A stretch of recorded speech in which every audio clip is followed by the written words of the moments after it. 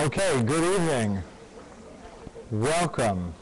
Welcome to Mechon Hadar, and uh, welcome to the restarting of our Tuesday night shiurim and lectures, which is a really exciting time here at the yeshiva where we get to take ideas that have been germinating here and uh, on our minds and engage with, uh, with a much broader community of learners around them.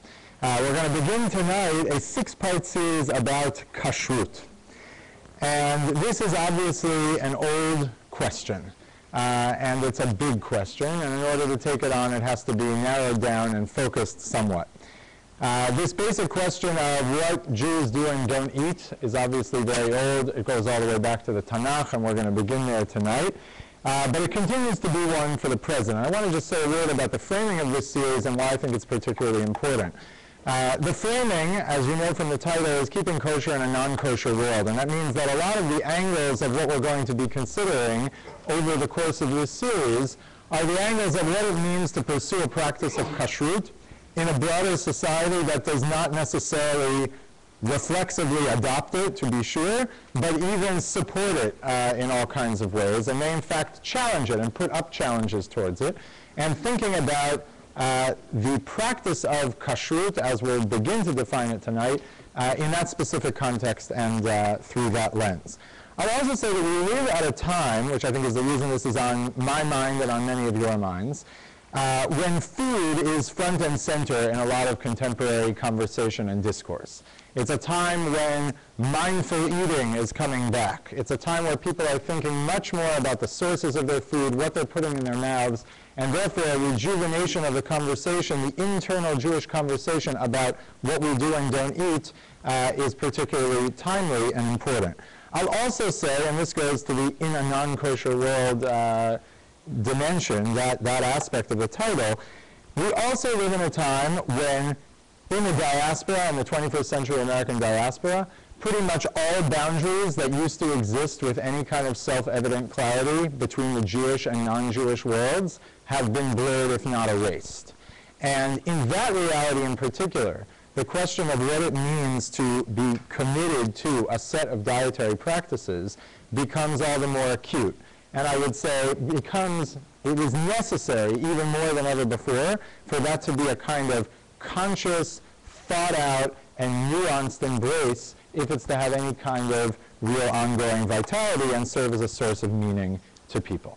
Um, so, where I want to actually begin um, is with this question of why tonight. And I want to begin, actually, I wanted to bring this up before. Can I just, Shani, could you bring the board that is back there up to the front? Um, I want to begin, and if there's not, there's a marker. Great, fantastic. I want to begin with the question of why. Most of the conversation around kashrut, I think you'll see this even tonight, has mostly been a question of the mechanics of kashrut.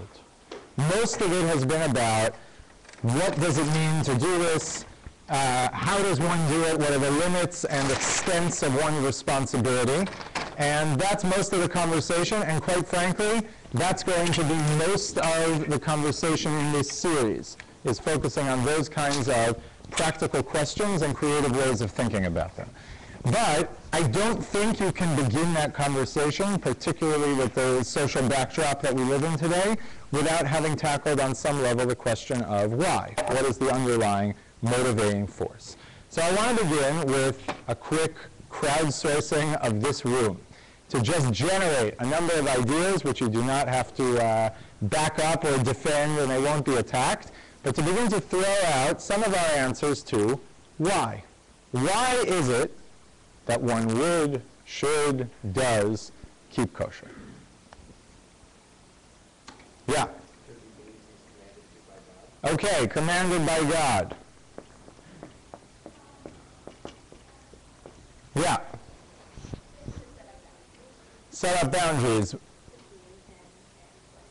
Okay, boundaries with the Gentile world, okay? Boundaries, Jew, Gentile. Okay, what else? Yeah. Some kind of special spiritual diet. Okay, a spiritual diet. Yeah. Uh, boundaries for our consumptive behavior. Okay.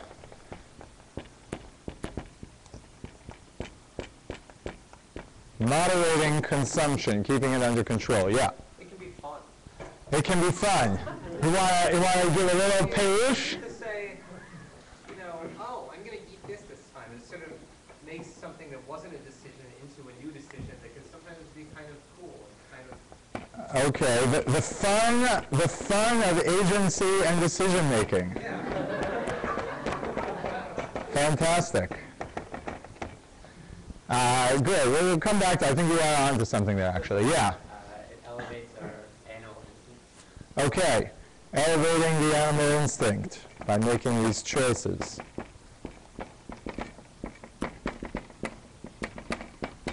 Few more. Yeah, in the back. Cultural markers? Cultural marker, different from the Jew-Gentile boundary, or Different, social, cultural, the, sort of the, the middle use to which you belong. You identify with. Similar to wearing Not keeping you away from something, but giving you a kind of positive identity through your food practice. Great. Yeah. Tradition. My parents did it. Grandparents did it. Even if they didn't do it, some of their grandparents did it. Yeah. Community, I want people to be able to eat in my home, and it's also reflective of values-based decisions. So what I allow in my home. Okay, great. So value control of the home through food, and then the benefits of community that come through uniformity of practice. Great. Maybe you'll take one or two more. Yeah.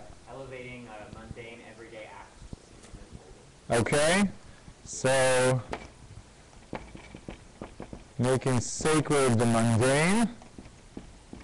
Good. And one last one. Yeah. Yes, please. Reminds you a Jewish. Reminds you're Jewish. Okay. Great. Okay, we could add a lot more.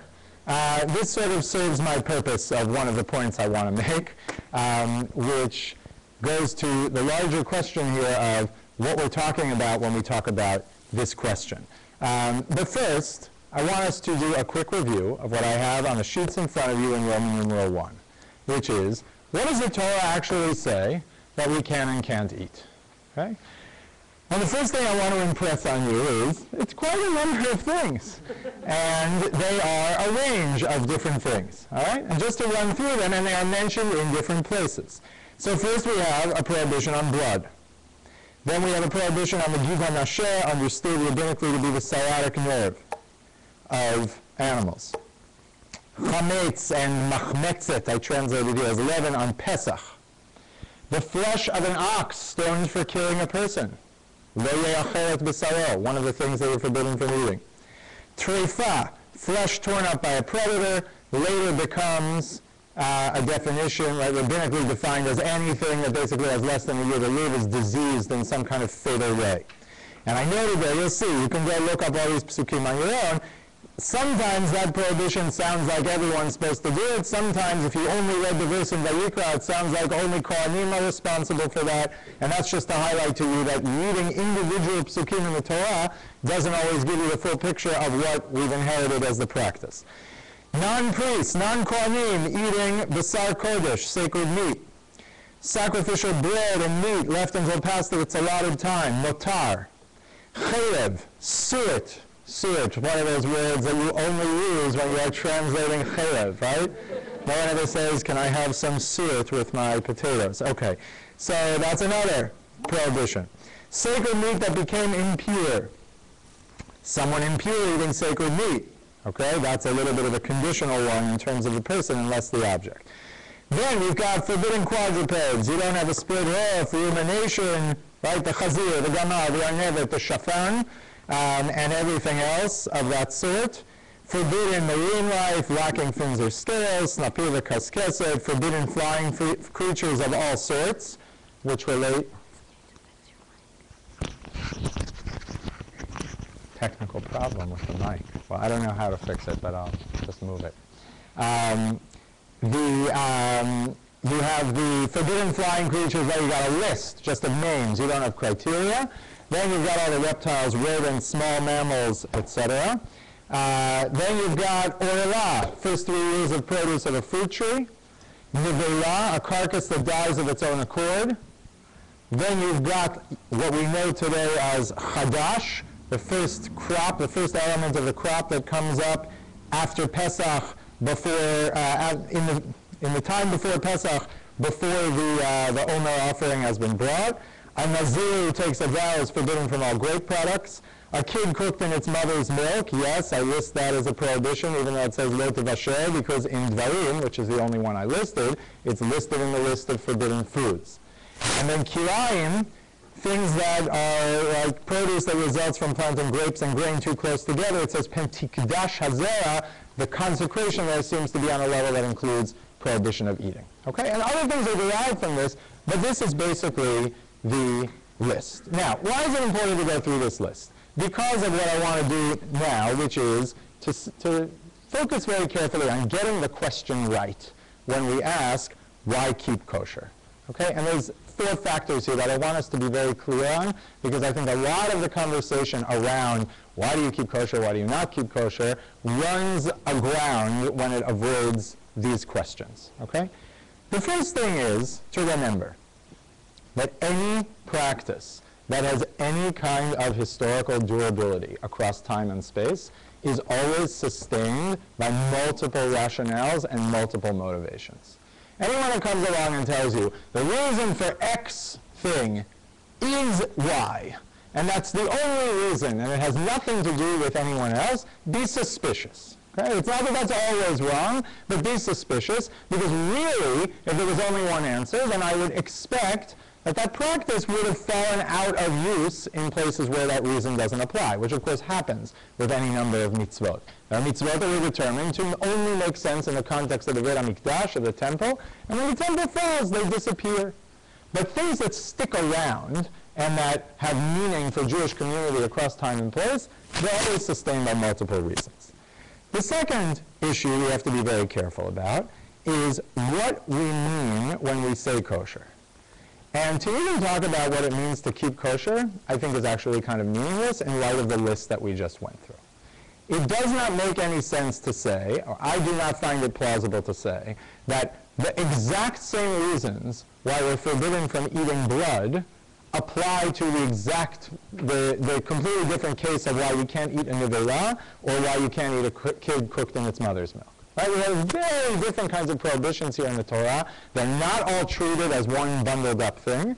And often our inability to ask the question properly of what is it that we're asking when we say what do we, why do we keep kosher or why should we also confuses us. There's a question of the context in which it's being asked. I feel like all the time when I encounter questions or struggles around kashrut, there's at least a kind of first 15 to 20 minutes of the conversation that's trying to get to the bottom line of what's actually being asked, which is to say, is a person saying, why can't I eat pig?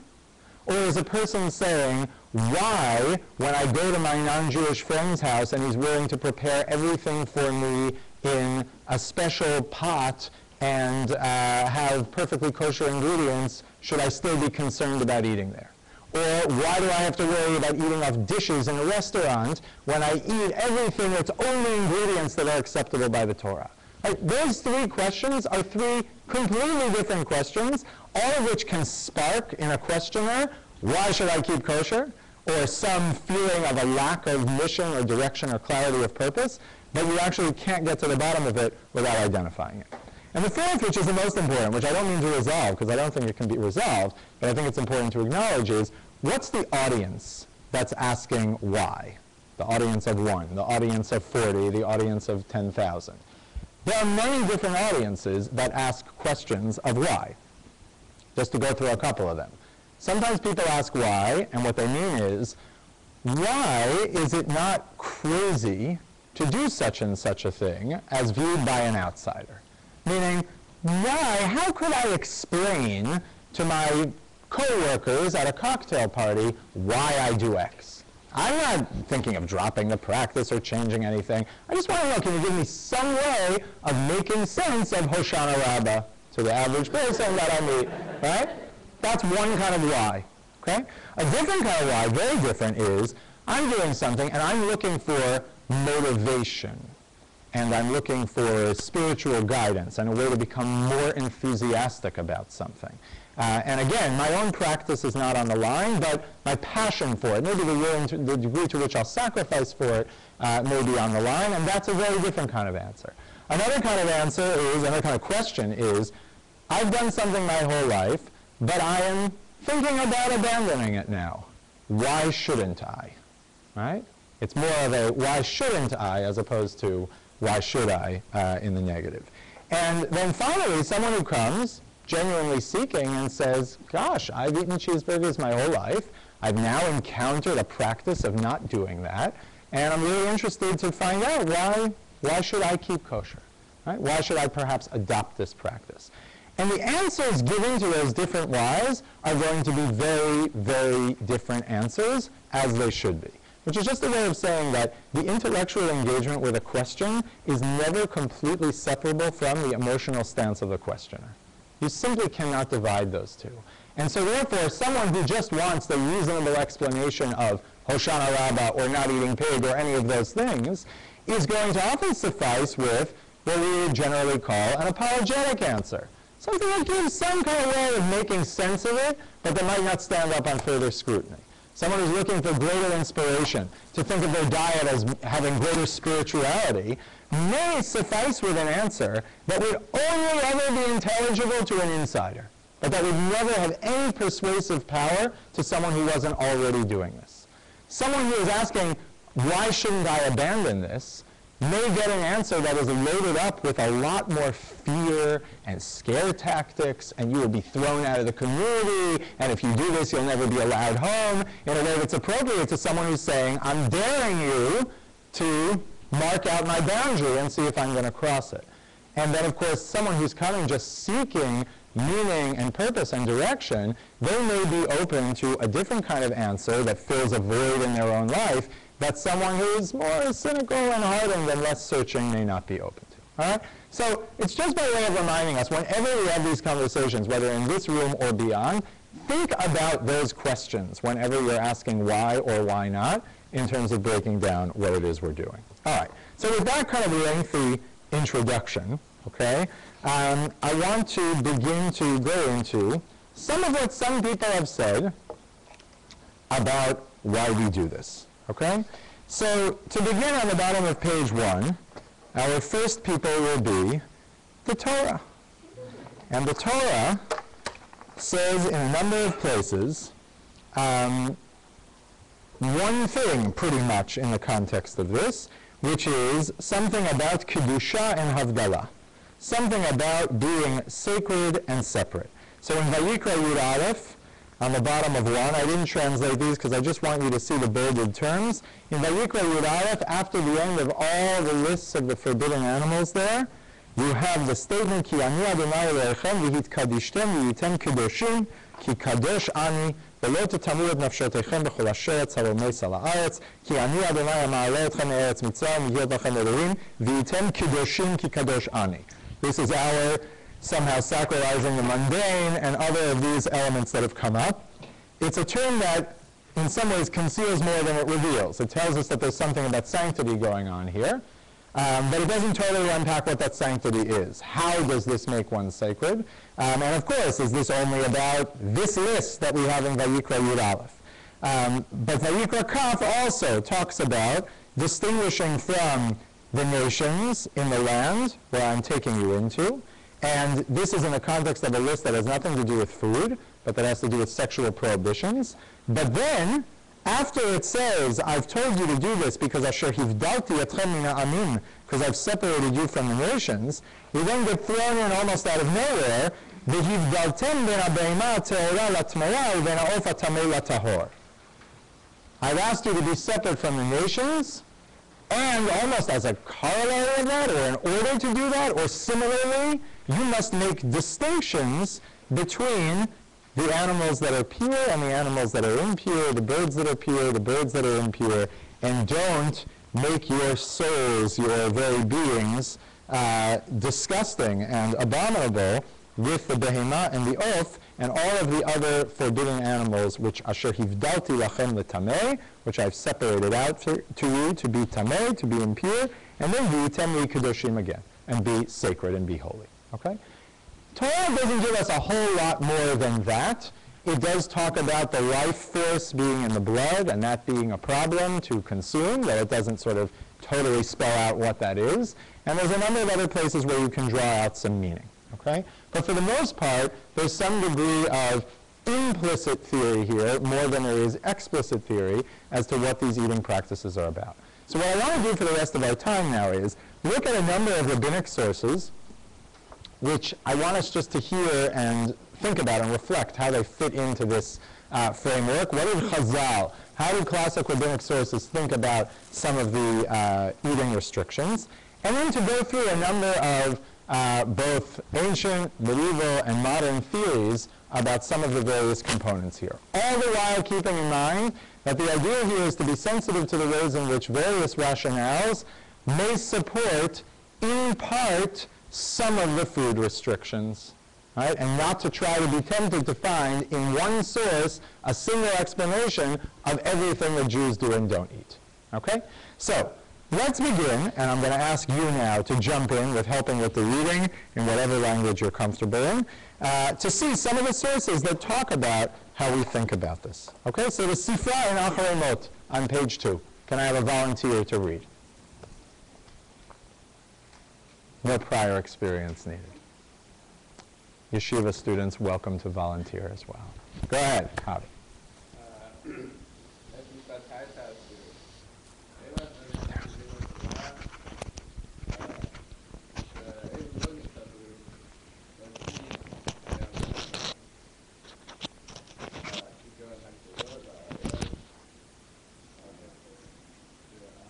ועבודת אלילים.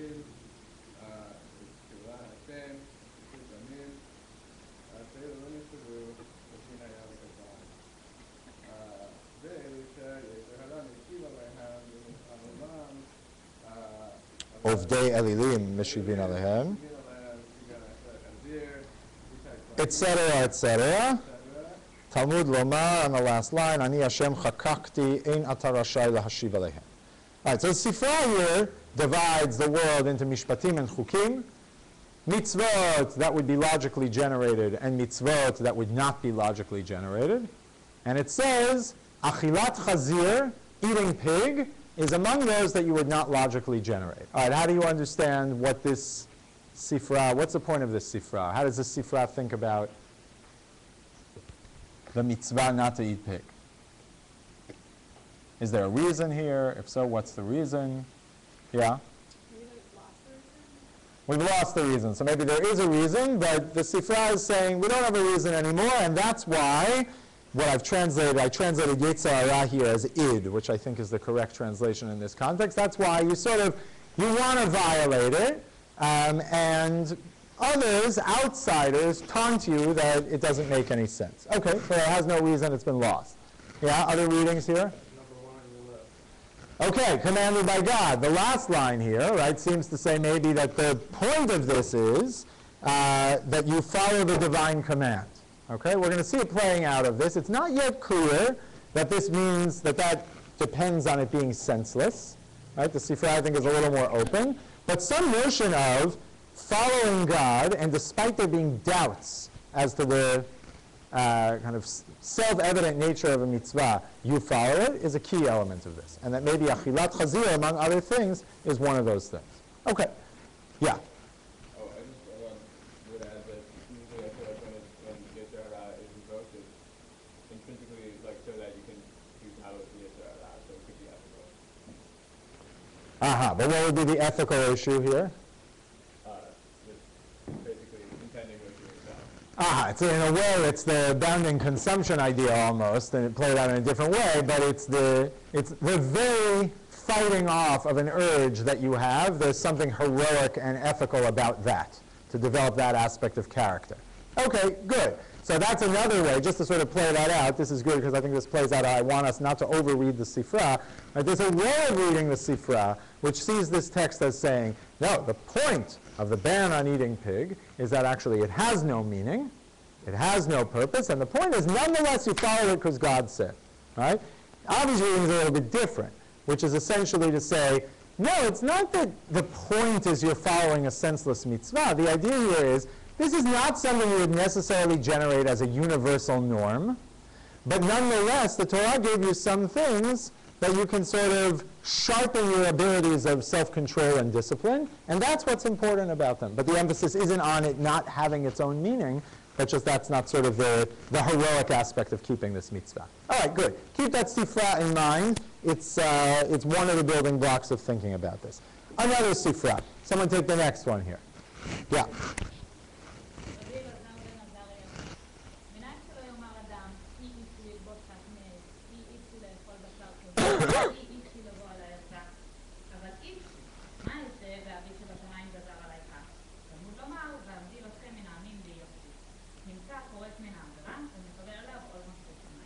All right, so should a person naturally cultivate an aversion to prohibitions in the Torah?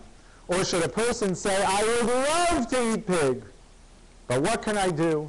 It's a mitzvah that I am forbidden from violating. This definitely breaks down by personality. I asked my two children this question. They're now uh, eight and six, but I asked them like two years ago. You know, do you think that basically pig is disgusting and therefore you're very glad the Torah forbade it?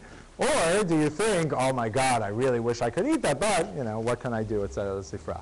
And my daughter said the first, and my son said the second. And it was, you know, in fitting with, in keeping with different personalities of, I think there are some people who fundamentally gravitate to wanting rules and wanting boundaries, and it's very meaningful for them to have those boundaries. And then there's others who are much more expansive in their desire to taste and experience everything in the world, and are willing to put that under some kind of self-control, sometimes for a divine mandate, but don't in any way cultivate a kind of ascetic personality coming out of these rules. So sifra is in a way meeting the person who has that kind of expansive desire for everything in the world and saying, don't deny that. Right? Embrace that part of yourself that wants to experience everything, but nonetheless, clamp down on it with subservience to God. Okay? So there's, there's clearly in that text some kind of strand of the commanded by God and the boundaries on consumption and ways of taming that as another angle here. All right? We won't do all of these texts, but I want you just to see a couple other pieces here that'll take you in a slightly different direction. Um, look at the next on page three. Okay, a famous text from Bereshit Rabbah. Someone read this. Let's read this one in the English, the second, uh, the first text, first full text. Volunteer for this.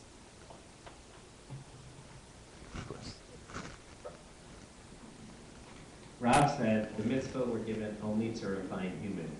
For what difference does it make to the Holy One, blessed be he, whether an animal is slaughtered from front or the back of the neck?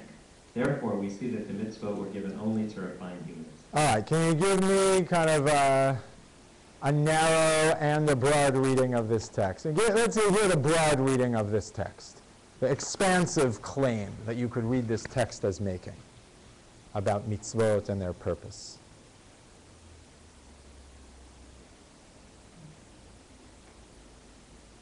לא ניתנו מצוות על הצרף בהן את הבריות. They're Yeah. not, they're not for God, they're for you. God doesn't care. They're not for God, they're for you. And therefore, on some, what does it mean they're not for God?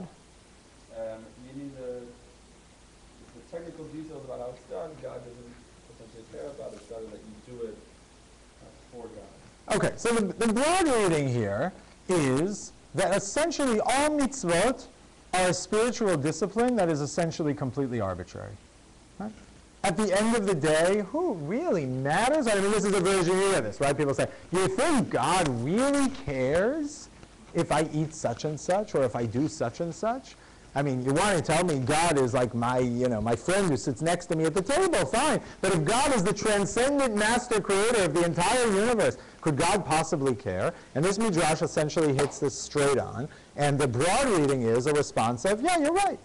God actually doesn't care. God just cares that you do it because God cares that human beings have a spiritual discipline and have a relationship with God that's worked out through that. But God doesn't really care about the details. That's the broad reading. Yeah. Um, this also could imply, although not necessarily, that there's nothing objectively wrong in anything that's forbidden. Correct. I agree. I think that's the natural extension of that view is that on some level, for instance, you would say, unless you had some specific record of a given mitzvah applying to the Gentile world, for instance, you would never assume that something that's incumbent on Jews has some kind of universalizable value. Right? At the end of the day, this is some kind of spiritual discipline. Everyone's been assigned that. It's their task to follow it. End of story.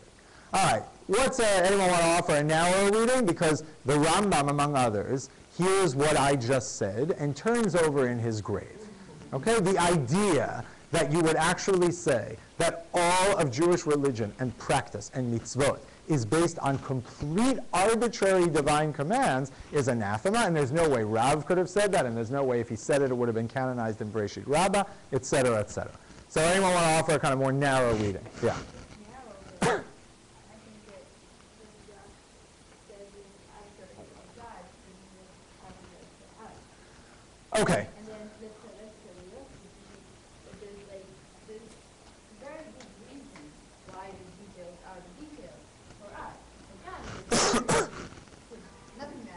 All right, good. So one way of deflecting it is to say this is a text that is actually not about the mitzvot, but is about God's transcendence.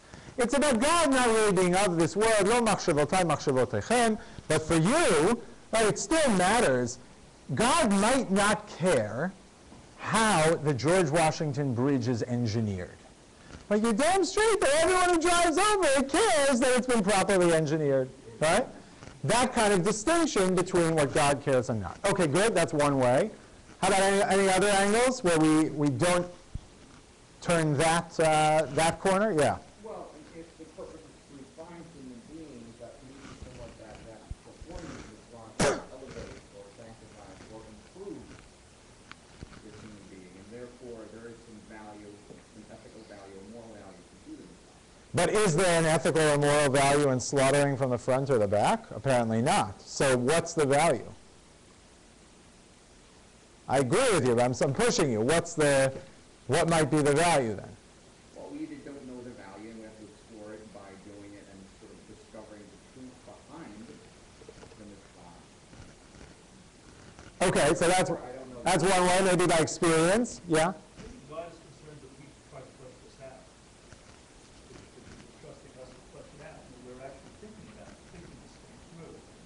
That's, that's his Okay, it's not exempting us from that investigation. It's just saying that God doesn't care specifically what the answer, but that we have to somehow go through that process of, of figuring out ourselves. Yeah?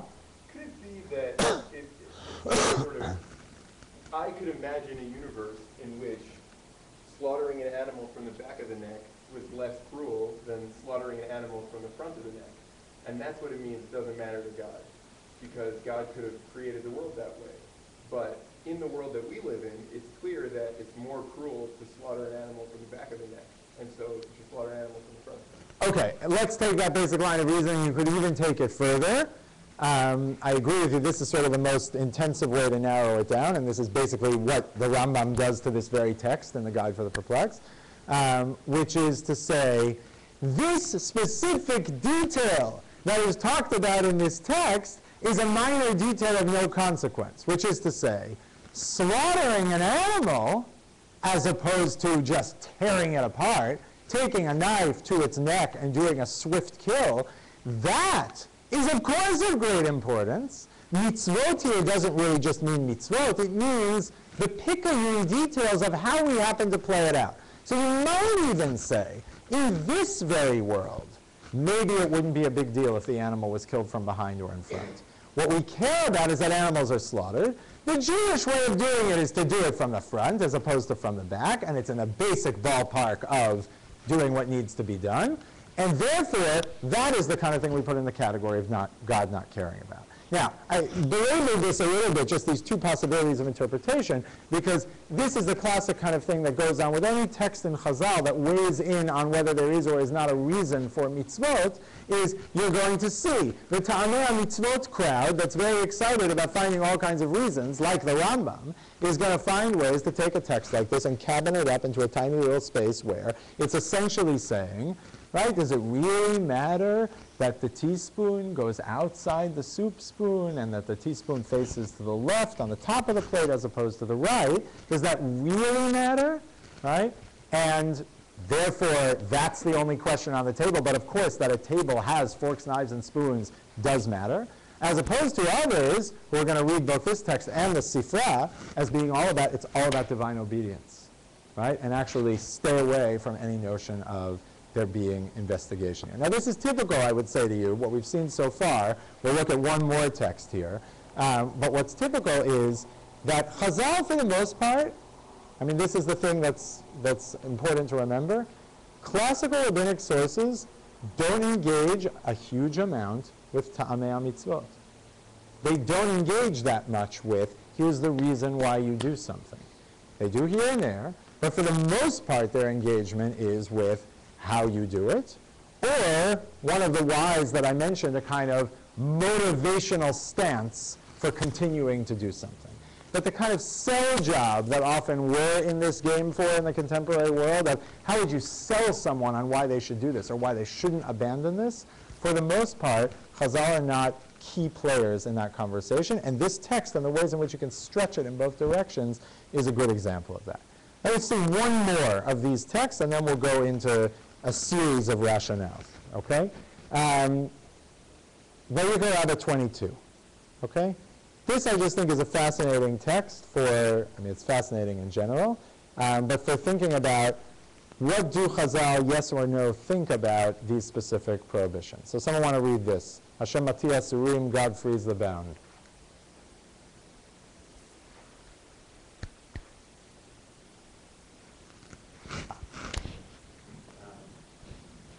God frees the bound. That which I forbade to you, I permitted to you. I forbade the suet of domesticated animals, and I, for, I permitted the suet of wild animals.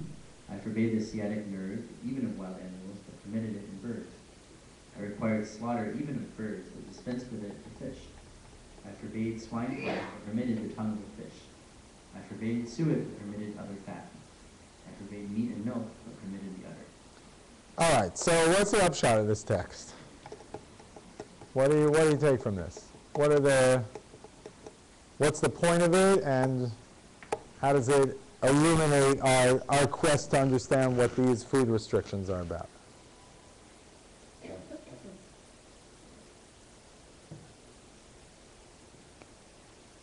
Well, what it's not about, apparently. It's not about what? The reason you shouldn't eat pig is apparently what?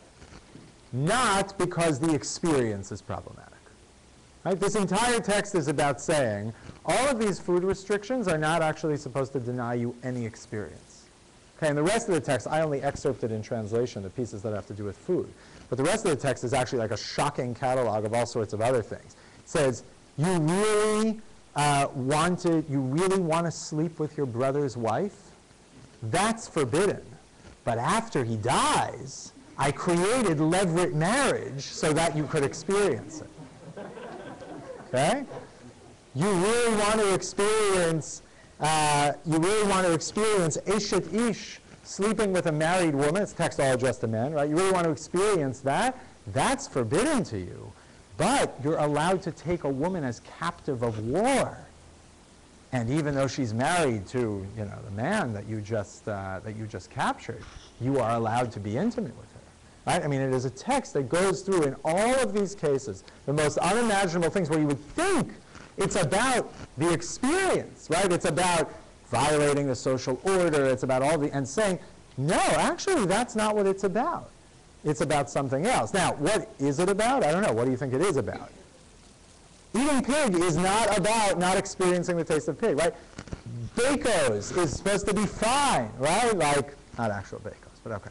Right? Like the idea of like having, having food that tastes like the forbidden food, that's why Yekorada is very excited about that. And the previous text, which we skipped, talks about how if you follow the discipline of keeping all these rules in this world, HaKadosh Baruch Hu will make a banquet in the next world full of treif food. Right? It will be a full banquet of treif food. You'll get to eat everything you didn't get to eat. Right? Now, you would never say that about something that you found to be morally repugnant and repulsive. Right? you would never really say, I don't know, I don't know what to do with the marriage cases because those make that more complicated. But the banquet text, right? You would never say sort of in the future you'll be able to murder all you want. Right? You'd never say it. It makes us uncomfortable even to hear that. And so when you see forbidden foods treated in this way, you see some strand here that in no way is engaging with this being on some essential level. It goes back to Josh's point of, you know, is there something that's generalizably problematic here? I would say pretty clearly from this text, no. But so what do you think it is about for a text like this?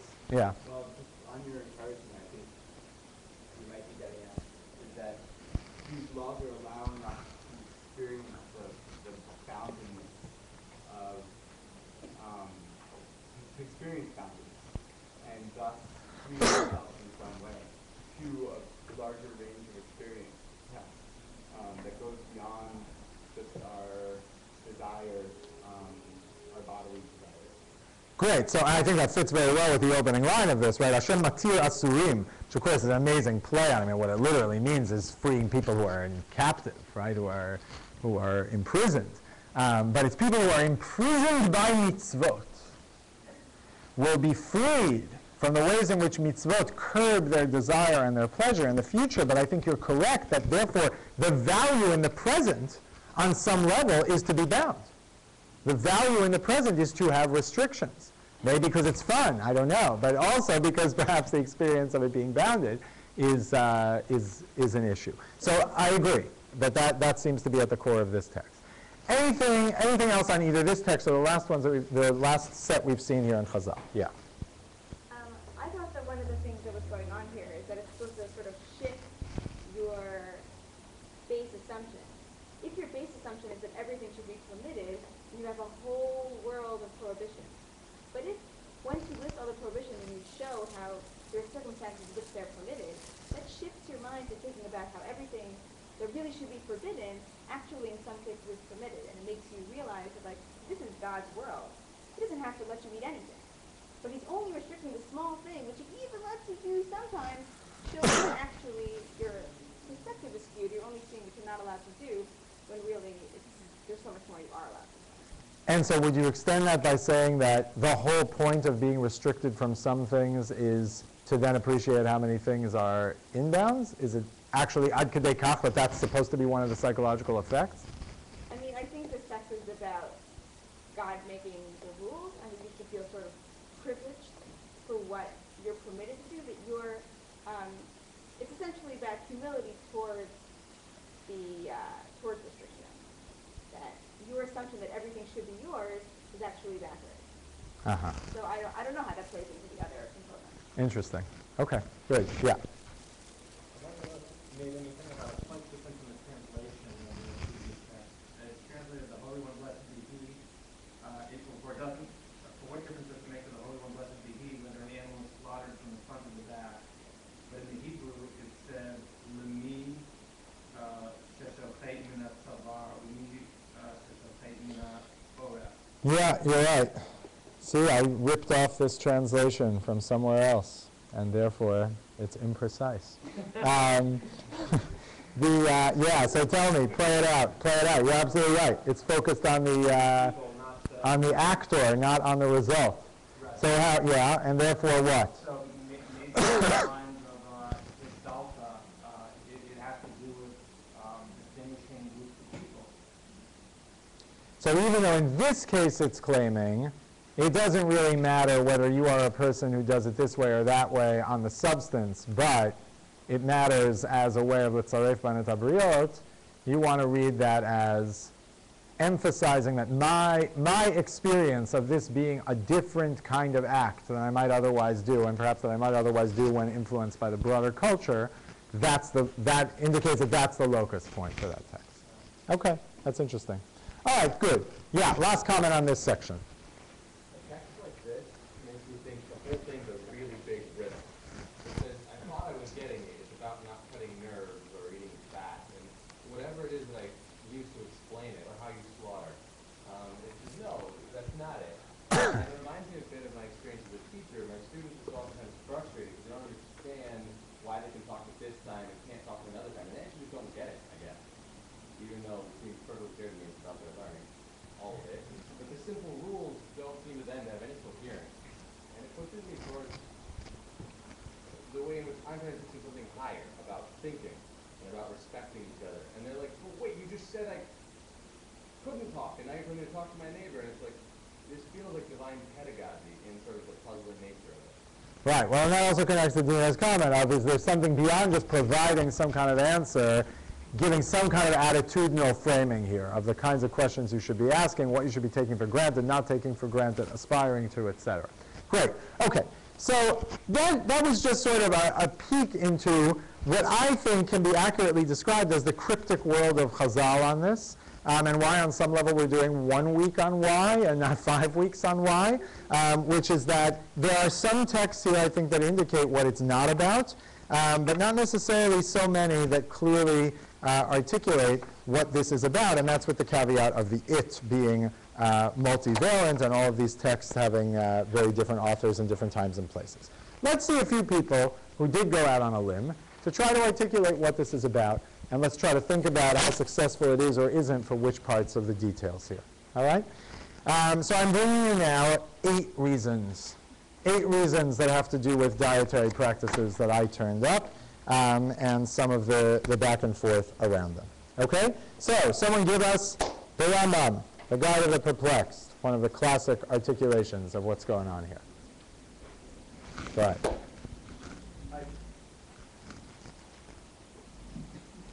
I say then that to eat any of the various kinds of food that the, that the law has forbidden us is blameworthy. Among all those forbidden to us, only pork and fat may be imagined not to be harmful. But this is not so, for pork is more human than is proper and contains much superfluous matter. The major reason why the law abhors it is its being very dirty and feeding on dirty things. Now, if swine were used for food, marketplaces and even houses would have been dirtier than latrines, as, as may be seen at present in the country of the French. Okay? Even the Rambam hated the French, all right? Um, so this is straight up, right? And what's interesting about this is he's saying pigs, you would think, are, are not unhealthy. Why? Because everybody eats them, okay? Um, everybody in Christian countries is eating them and seems to be fine, and there's nothing wrong with them uh, in terms of their health. But even that, the Rambam says, is like mice and all the other things that we more instinctively might say, oh yeah, those things are gross and horrible to eat. Um, and the Rambam, this I give you just this as one example, but in a number of other places, is very clear signing on to the idea that this is about health and hygiene. Now, in terms of just going back to kind of the taxonomy of the why questions and the audiences, this I think is a good example of, depending on what your audience and, and context is, this will have a very different level of effectiveness as a question. Um, someone who is trying to figure out whether they should adopt this practice, having grown up their entire life eating pigs, mice, etc., is not going to be compelled by this right? They clearly feel that their life is fine, they're healthy enough, et cetera, et cetera. I would say similarly, someone who is thinking about apostatizing to drop this practice and to go into a general culture that eats these foods and where people seem to be fine is also not going to be, be compelled by this. However, someone who has a stable practice around kashrut, but is looking for a way to feel really good and proud about it, this is potentially a very good answer. And I think it's for that reason that it's no surprise that the Rambam is very proud to articulate this in his context. But if you look at most of the 20th century mitzvah explanation literature, okay, that is dealing with basically Jews in modern Western countries either already having dropped this practice or thinking about dropping it, most of the authors go on the warpath against the hygiene explanation and it's going to be an unacceptable, unconvincing answer. Yeah?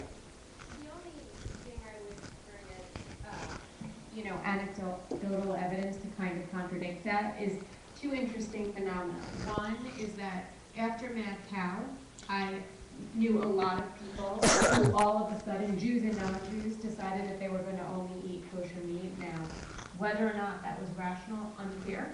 Um, and, and second, is I just recently saw the movie Contagion, and I don't know if anyone saw it, but right, 70 million people die because a pig gets a, you know, a virus from a bat or something and it mutates.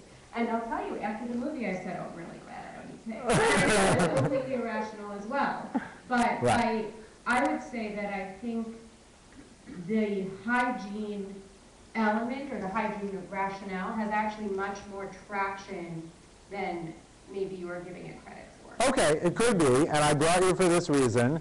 If you listen very carefully, you may hear the five-second clip of what follows.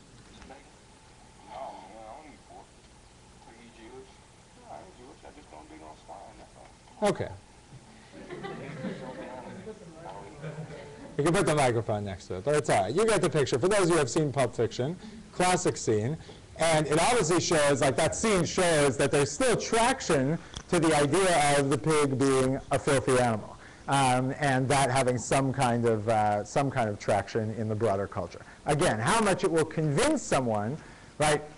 The, the real test would be how many people saw Contagion and stopped eating certain things, right? Because at the end of the day, you have that practice, and so it, it buttresses. And I would say, overall, this is a reason that, you know, there's all sorts of things we say, ha ha, our way is much better, when we're very, you know, kind of confident in it already. But it's a fair point, yeah.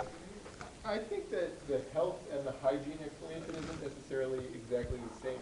Because like you could, s- the hygiene thing is like, oh, well, we're refined people, so, you know, we don't eat, you know, that's a gross. But it's a little different from saying that like this will harm your health. At least in a twenty-first century Western medical world where health and hygiene are not. Fair enough. Fair enough. I think for the Rambam, they went together, but you're right that they don't necessarily have to. Fair enough, yeah. I think the, the plain response to contagion could also be, oh, I'm only gonna eat, you know, pig that's raised on a farm and they know it's Good. safe. And it makes me think about like the Correct. Portlandia, the certificate of eating organic macadamia nuts. And so, you know, I think another response that could not be, oh, I'm not gonna eat something, but I'm gonna think about where it's. Correct, great. And this is usually how you can detect whether something is an explanation or an apology. Because if it's actually an explanation, then the explainer will be open to other ways of meeting the criteria. If it's an apology, the second you start saying that, you say, well, I didn't mean that. I mean, I didn't actually mean anything that's healthy. And this is what actually leads directly to the second category here, which I've called spiritual effects, which is where a number of people come along and sometimes implicitly or consciously say, wait a minute, you can't give some straight up rational explanation of that sort. And in particular, a lot of later voices do this because they're afraid that people will make those choices. But on some level saying, this doesn't match the data. So uh, on the Torah, in the Rashi script text here, uh, above the passage that I cut for you here, he says, he kind of quotes the Rambam and that, and that approach to thinking about uh, the, the reason behind these mitzvot, and he says, you know, if that's what you're going to say it's about, then basically you're telling me that the Torah is the AMA handbook. And that doesn't make any sense. That's not what the Torah seems like it is. It doesn't seem like a medical guide and something where now a doctor decides such and such is okay, it's all right. And so what does he say? He says that's not what the Torah cares about. The Torah seeks the well-being of the soul. And the Torah forbids these foods because they cause abomination and revulsion for the pure soul. They chase away the ruach hatahara, the hakadusha, etc., etc. Now, that's always a good defense against someone who wants to use some rational explanation from you know, empirical data to undermine the mitzvah. But it goes in sort of the category of whys that I talked about. This goes in giving someone a spiritual motivation, but there's no possible way that this will ever in any way impress or convince an outsider to the practice. Right? What does Abravanel even mean that this creates sort of spiritual depth? There's this notion, right? This is, I was, I'm glad you brought this up, because when you say it gives a spiritual diet, well, so what, I'm going to put you on the spot, if you don't mind. Like, what did you mean when you said kashrut gives a spiritual diet?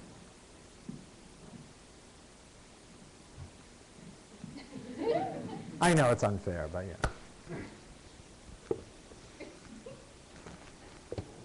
Um, I'm actually thinking of a number of different things. Um, One thing I was thinking of is that like certain animals that are predators don't eat. Animals that are vegetarians are okay. Why? Great.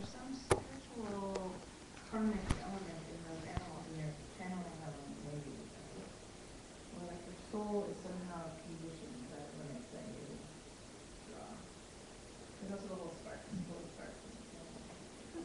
Great. All of which I think fits into this category, and all of which I want to I want to underline. The strength of any explanation like that is it almost ipso facto fits the data, right? Which is to say, it says the things that the Torah forbids. It does so in order to make you holy and more spiritual, etc. Whereas the Rambam does not really fit the data. Okay, the notion that everything that the Torah forbids is on some level unhealthy or necessarily unclean um, does not necessarily add up, right? I mean, the camel, for instance, doesn't necessarily really fit the Rambam's criterion, and that's what's going to draw people to these spiritual articulations. The other thing that's, that's strong is, you know, you talk about the sparks, and you talk about Lurianic Kabbalah, and other strands that are sort of internal to the tradition, part of the spiritual vocabulary. There's a way in which you can have different elements of the tradition stack up with one another to create something very powerful. The weakness is going to be someone who says, what do you mean sparks? right? Until you explain to them sparks and then and klipot and da da da da da, and they buy into that, and that becomes a part of their vocabulary, it won't necessarily translate in any way, okay? Which is why it's not surprising that both of these exist, okay? But there's a whole strand that resists A in order to replace it with B, okay? All right, that's just two. Let's go on to another one, all right? Symbolism, and this is what you just touched on, Alana. Why don't you read for us the letter of Aristeas, um, and then we'll talk very briefly about the Ramban here. For all the birds that we use are tame and distinguished by their cleanliness, feeding on various kinds of grain and pulse. But the birds which are forbidden you will find to be wild and carnivorous, tyrannizing over the others by the strength which possess, and cruelly obtain food by preying on the tame birds moving above. And not only so, but they seize lambs and kids and injure human beings too, whether dead or alive. And so, by naming them unclean, he gave a sign by means of them that those whom the legislation ordained must practice righteousness in their hearts and not tyrannize over any one in reliance upon their own strength or rob them of anything, but steer their course of life in accordance with justice. Okay, and the Ramban essentially says something similar in his commentary on the Torah with respect to birds. And he says something similar in the passage I gave here from Dvarim with respect to meat and milk. Why don't you do meat and milk? Because the act of doing that will in some way make you a crueler person. Okay? The idea being here, why do I call this symbolism? It's not the idea that you will karmically absorb uh, the traits of these. I don't think in Aristeas. This is an Alexandrian Jew of the second century BCE. Um, the idea seems to be it's kind of a reminder. Every time you only eat an animal that behaves a certain way, and you refuse to eat animals that behave in another way, that becomes an effective symbol and sign of the kind of character you are supposed to have.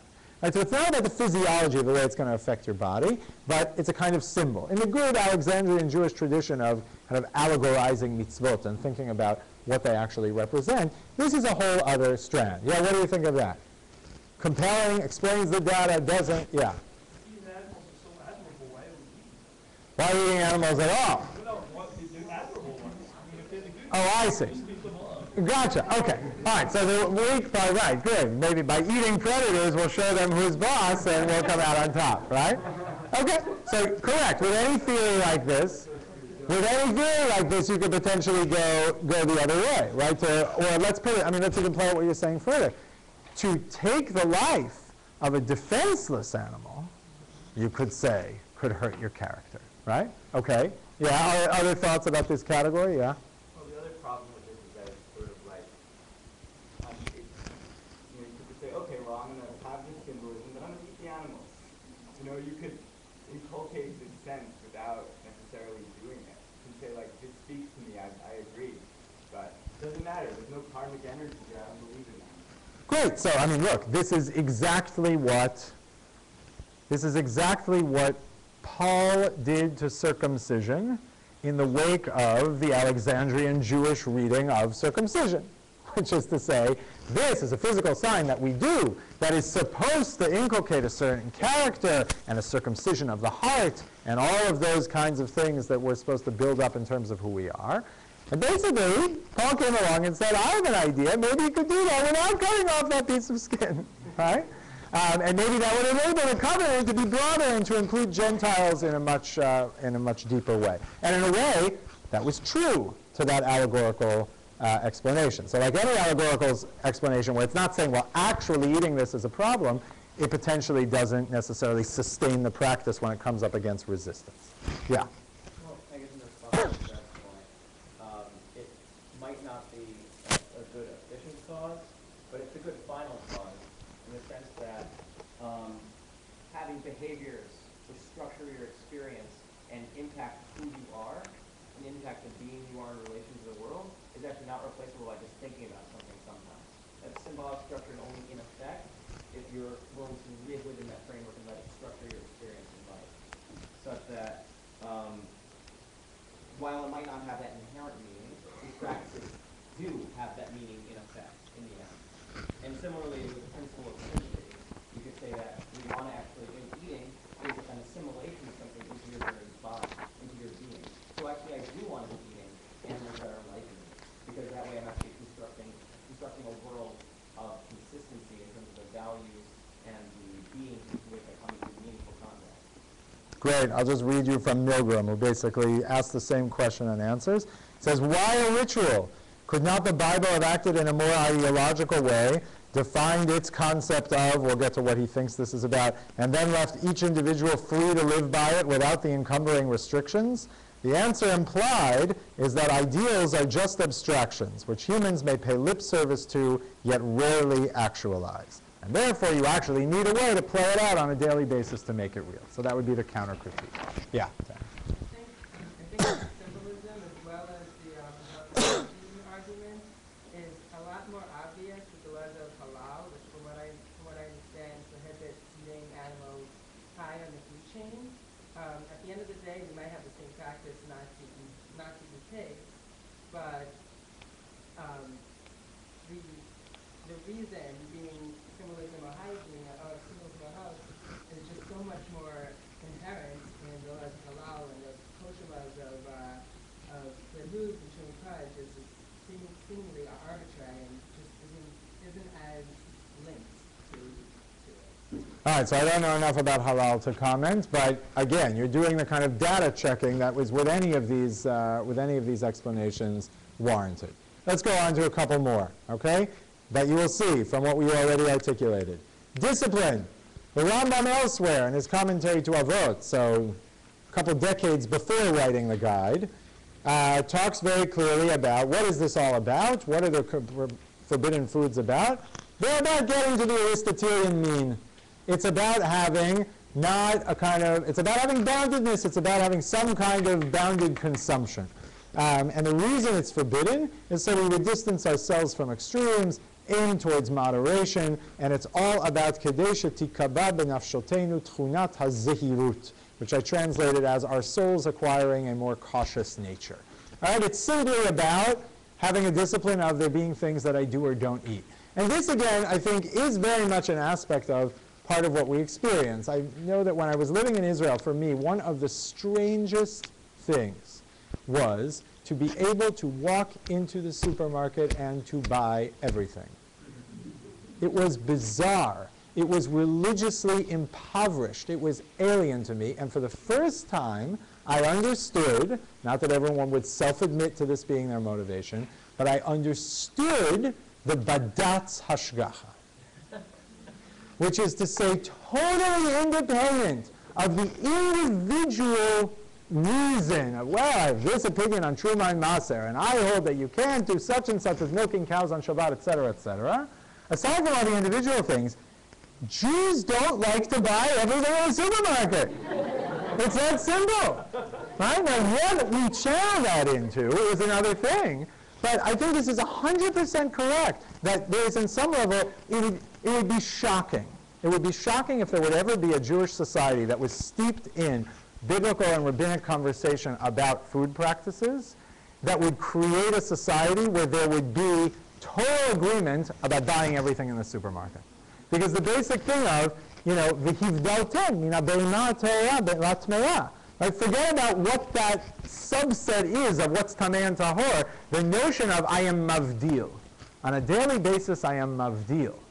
Um, and this is a way in which, I mean, I know this, you know, from, from the variety of experience that is out there in the Jewish world. There is a way in which people who only ever eat in glatt kosher restaurants with their kids miss out on a certain educational experience that those who eat out and are constantly asking about the stock and the this and the that and the other thing are actually getting. Right? That's not, I'm not endorsing one way or the other. Okay, we can talk about that throughout the series as we go on with the how. But there is something there with sort of the questions, the interrogating, the havdalah actually being a part of the process. And the Rambam, I think, is saying that in a certain way. Um, it's not just about putting a big hechsher dome over something and then behaving like a behemoth. Right? It's about actually going through the process of life of confronting things that you're not allowed to eat and not just trying to escape from them. Yeah. It's close to really that, but it's not so much discipline as discernment, because I think what we're getting at. That it's, and, and almost like using kashrut as a technical training ground, getting back to the earlier source about refining humanity. That you're learning, you cut from the front to the back or the back to the front, or all these different rules that they help us to be more careful. And if we're more careful with our food, then hopefully we'll be more careful in everything. Great. So I think, yes, I accept the, either it's the replacement or the addition of discernment here, I think is definitely, definitely a piece. I mean, even this term zihirut and what it originally is in the Judeo-Arabic and how we best render this, there's something going on in that term that I think is capturing that. Beyond sort of what I translated here as caution, there's something about making judgments that have sense to them. Yeah. Instead of, we were talking about uh, Hashgacha and then the selectivity and how it's questioned. It reminded me of Michael Pollan's idea in Omnivore's Dilemma. That we should really be careful to source our food carefully and not really, even though all this is available to us, we should be, really get in touch with our food in moderation. So in a way, you know, either, you know, you know, Was obviously preceding him by a couple but Right. that's the same idea there, that, that you have to really be aware of what you're eating. There are overlapping concerns there. Right. Michael Pollan, I think, is obviously his, his boogeyman is less, his boogeyman is the total alienation from the food chain, right? And the ways in which the Yetzer Hara feeds that, uh, and the Rambam has a different kind of Yetzer Hara that feeds just sort of general human lawlessness, but they create an overlapping set of concerns. Yeah.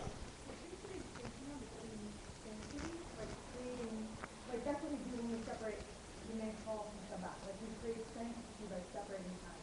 So it seems to be a, a, something different between distinction as creating sanctity and mindfulness as not being able to hang over you or you over the whole thing. So like it's a nuanced difference, but like what's the purpose? Is it to be mindful, to be like aware, present, conscious, like responsible human being, or is it that you're actually making kadosh? control? Right, and what, when you ask that question, what do you assume kadosh means? Because I could say to you that maybe that is what kadosh means. That kadosh means separation and some degree of creating a world in which there is sacred and mundane is itself the very act that kedusha is about. But mind.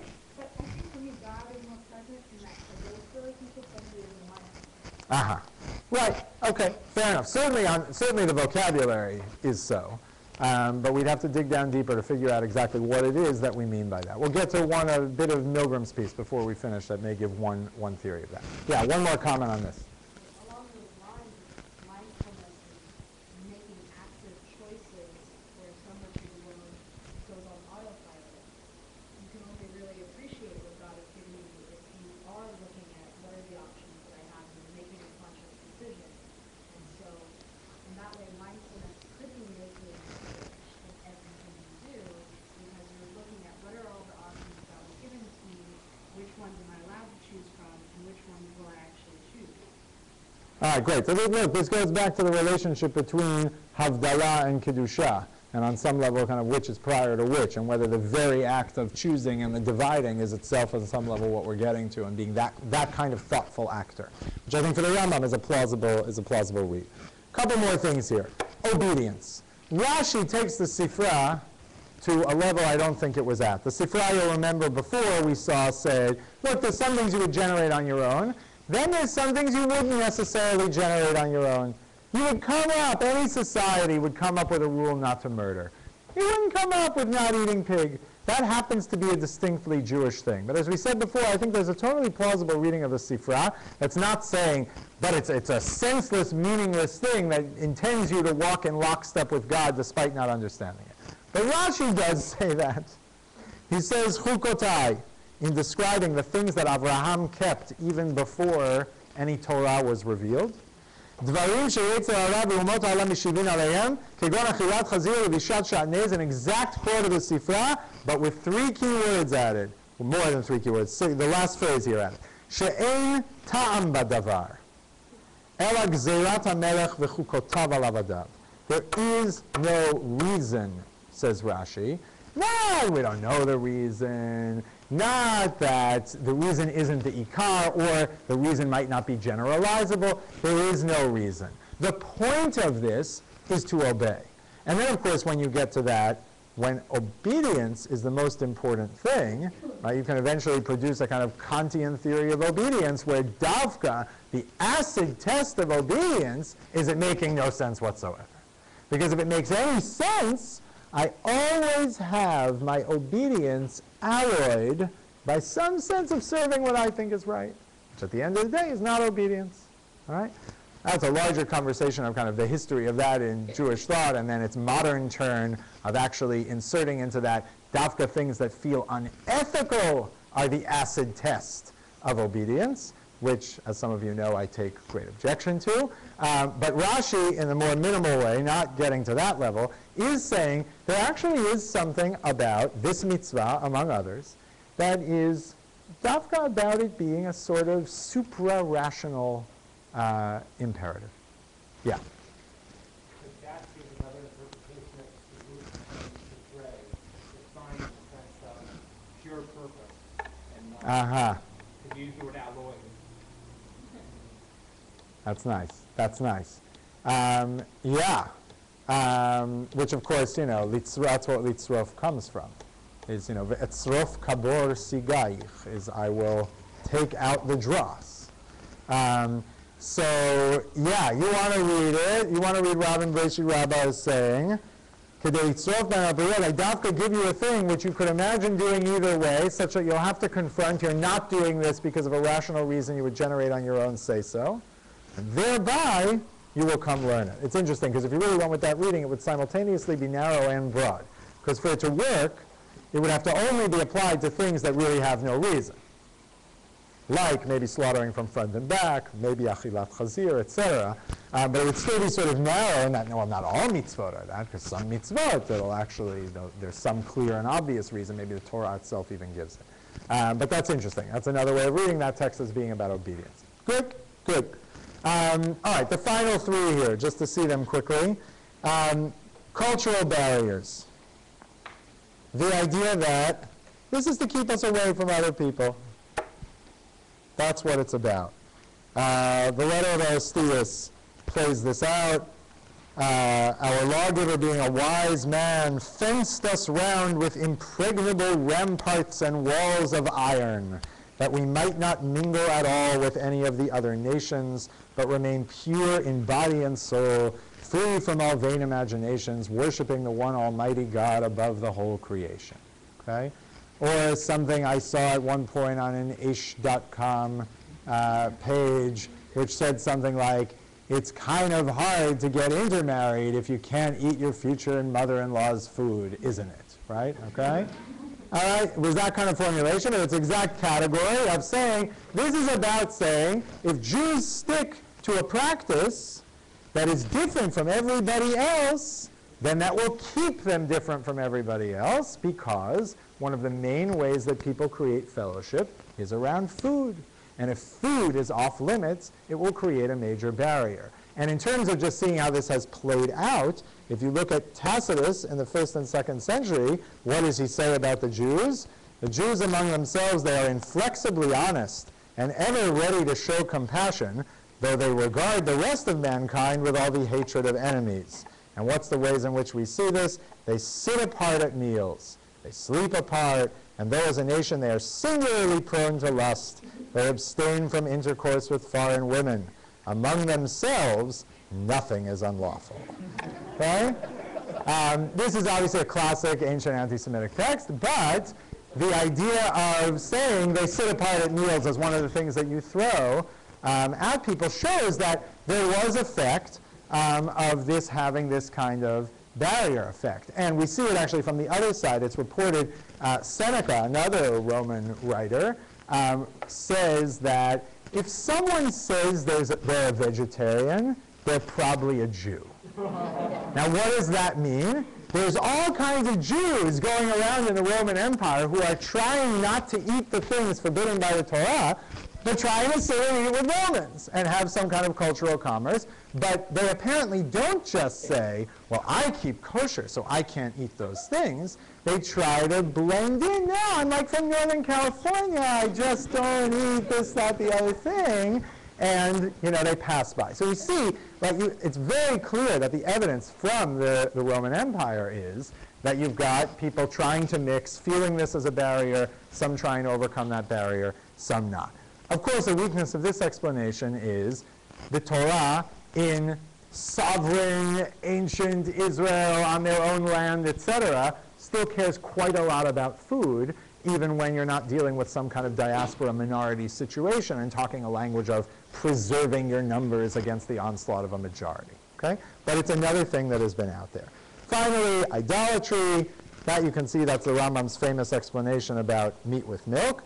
And Jacob Milgrom, to give him a few minutes here, um, Jacob Milgrom tries to make pretty much everything in Vayikra, um, but certainly uh, the food prohibitions, about life.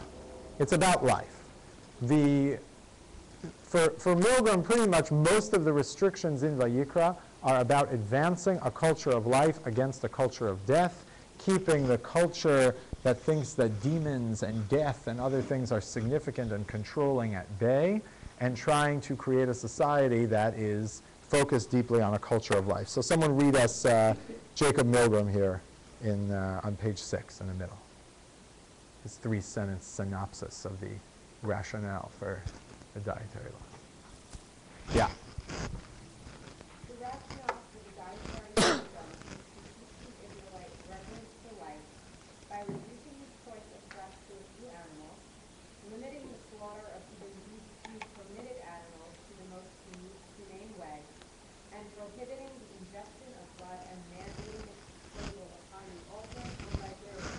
That bringing death to living things is a concession of God's grace, and not a privilege of man's will. Okay. Now, I just want to say first about the first part, because it's actually quite ingenious. Milgrom does a whole kind of analysis of what are the animals that are available in ancient Israel, um, as he tries to build up this theory that what actually the restrictions are about is about just limiting the animals that are available. So first he says, look, the pig had its own reasons for being forbidden. The pig was probably involved in all kinds of idolatrous worship rites. There were other uh, communities in the ancient Near East that abominated the pig. And he basically says the reason you have the whole category of it must chew its cud is because of the pig. Other than that, it's a split hoof category. There's this category of chewing the cud which is invented in order to forbid the pig. But that you have uh, the animals that have split hooves is basically a way of saying we're going to let you eat the few domestic animals that you raise and a couple of the others that could be hunted like deer, etc. But you are not, for the most part, going to go out and just find animals and kill them and eat them. The ones that are already domesticated, which can basically be summed up by the split hoof, that's pretty much what you do. The list of forbidden birds basically accomplishes the same thing.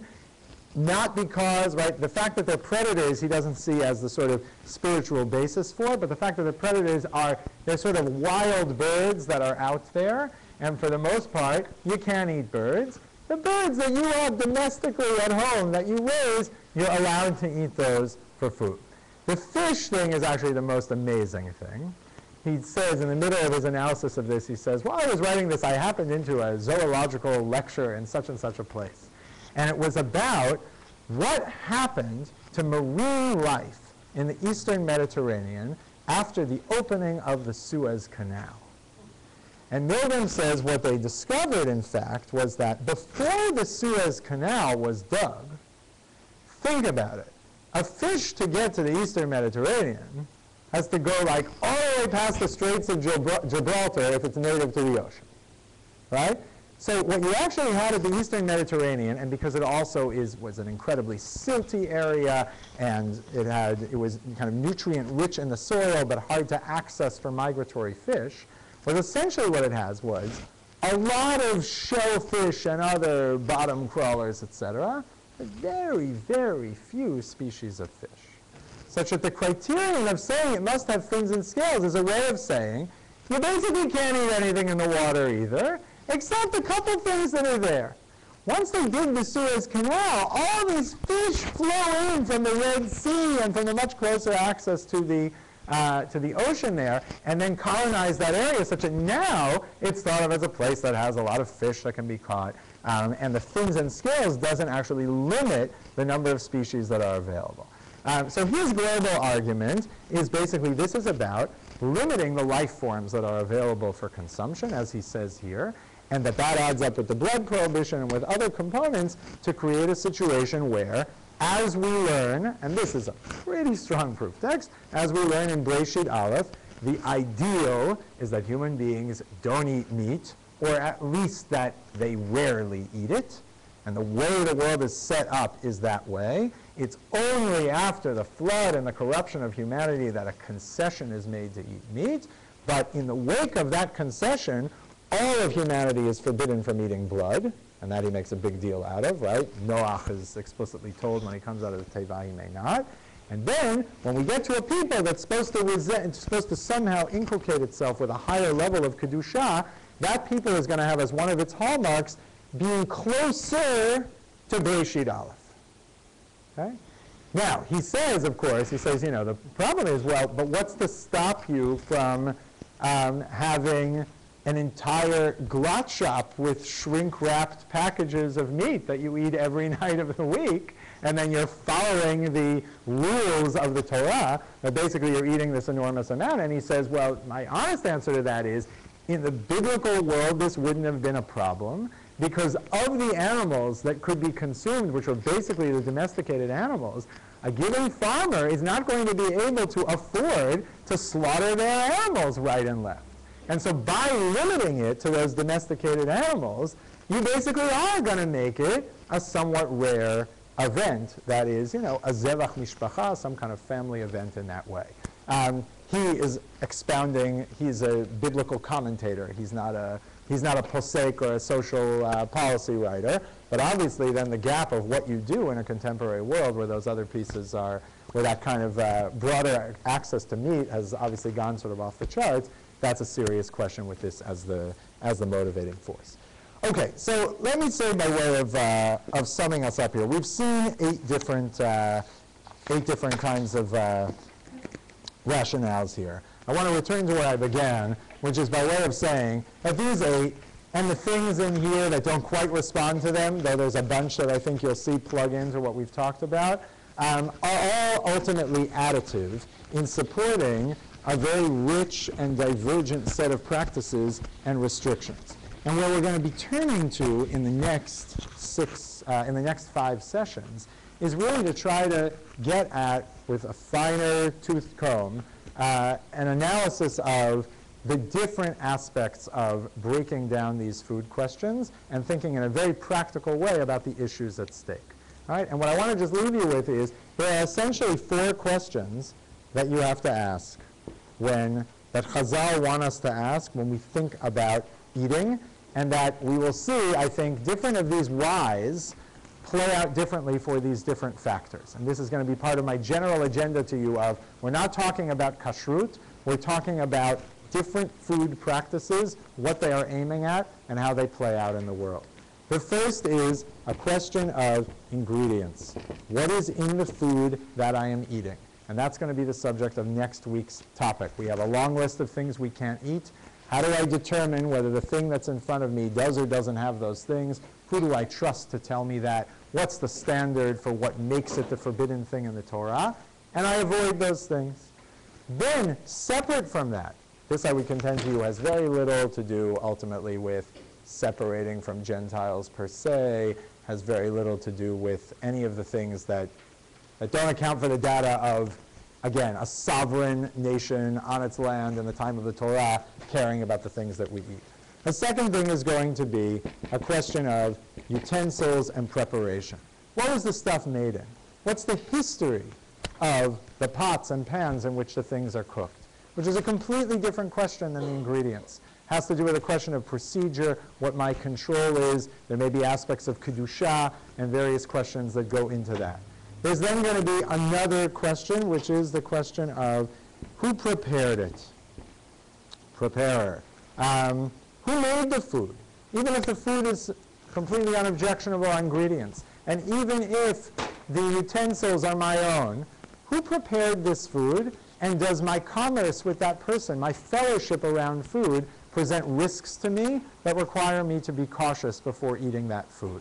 All right, that is what I'm going to argue to you. That is the explicit and head-on engagement with the question of the ways in which food creates fellowship, and therefore there need to be some kinds of distinctions potentially made in certain contexts. And the final question is one of context and place, which is to say, are there certain things, are there certain areas, are there certain settings where it's problematic for me to be and to share fellowship over food, even if I bring my own double-wrapped airline meal and there's nothing that's possibly wrong with it in terms of what's in it. Um, these four questions are going to guide us for the next four weeks, the what, the how, the who, and the where. And then in our final week, we'll try to synthesize all the different details of what we've seen. A little bit maybe come back to the why that we began to dig into uh, this time. And also have some significant time for really just practical questions around synthesizing this into a workable practice. So I look forward to seeing you next week. Thank you for coming.